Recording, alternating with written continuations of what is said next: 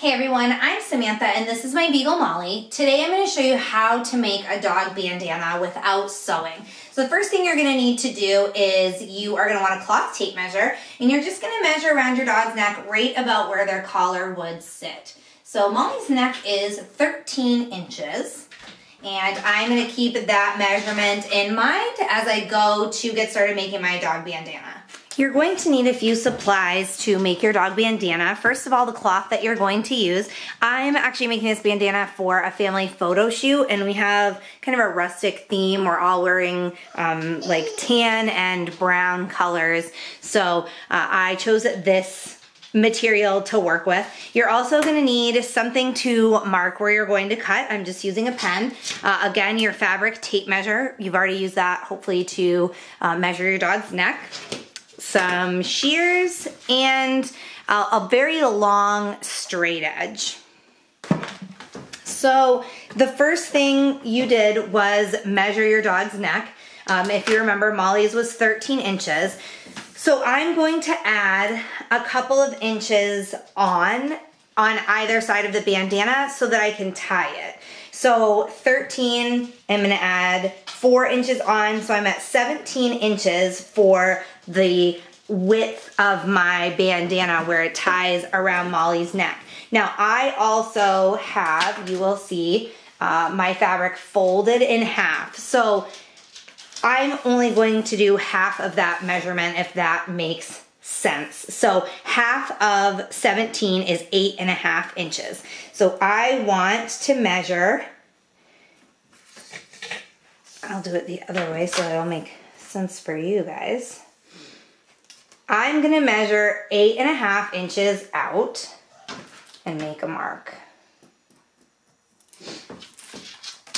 Now your bandana is a triangle shape. So think about how far you want it to go down on your dog's neck. You don't want it dragging on the ground. So if you have a smaller breed like Molly, it's probably only gonna go down about eight inches.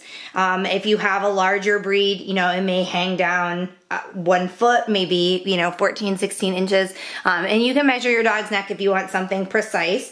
I am just going to, I think I'll go with 10 inches actually, just to make it hang down a little more on Molly. So I'm gonna mark 10 inches.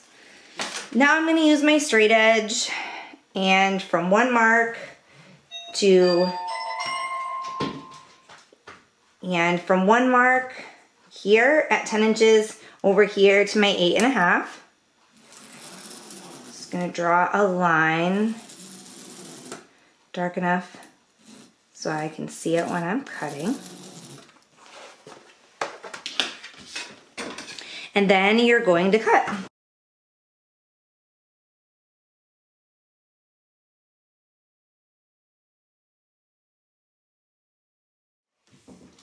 Now I've cut out my bandana and moved the extra fabric. This is exactly what a bandana is. It's basically just a triangle of fabric. Now, if you wanted to, you could make a two ply bandana. Um, and what you would do then, I had my fabric folded in half. Instead of measuring half the length, you could measure the full length and cut a triangle the full length. And then you would have a, a two ply bandana. So it would have the material on the front and the back. Um, I didn't do that. Again, we're just using this bandana for a photo shoot Might wear it a few other times. So I'm not really worried about the life of the bandana, um, but this will, these edges will fray over time. So if you're looking for something that's gonna be a long-term wear, what you wanna do is add uh, uh, about an inch extra on every measurement. So you're gonna have about an inch of fabric extra and what you'll do is just fold over the hem about a half an inch. If you're uh, a sewer, you can sew that hem. If not, you can grab some hemming tape or hemming glue at um, pretty much any craft store has that. And you can just fold the hem over and then secure it with the tape or the glue and that will prevent fraying. Um, and you can do that on every edge, even the the long edge there. You just wanna make sure that you measure the extra fabric to have the extra to do that hem. Um, so keep that in mind if that's something you're interested in. This is Molly wearing her new bandana. Now I have just tied uh, the ends. As I mentioned, I left those a little long, so I've tied those around. The other thing you can do, and I do this sometimes if I uh, forget and cut the ends a little too short, you can just use a hair tie uh, to keep those ends together.